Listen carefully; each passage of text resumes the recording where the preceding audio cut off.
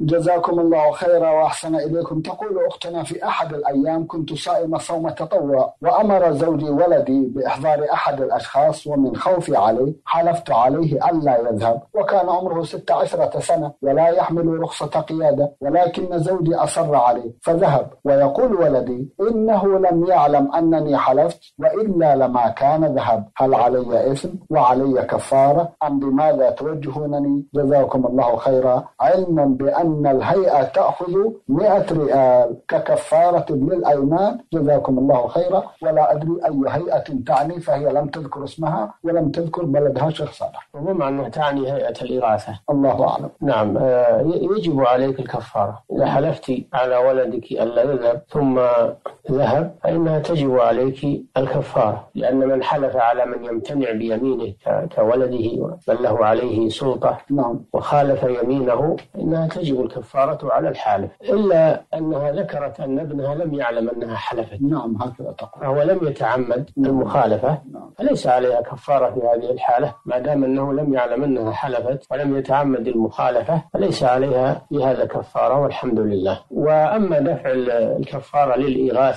فهذا لا يجزي.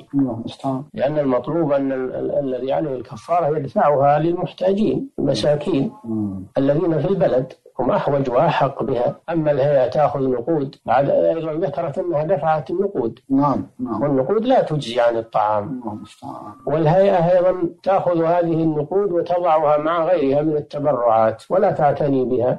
ولا توصلها إلى العشرة المساكين ولا تتقيد بمواصفات الكفارة وإنما تجمع هذه الأموال وهذه التبرعات ولا ندري عن تصرفاتها الباقية. الحاصل أنها لا تدفع.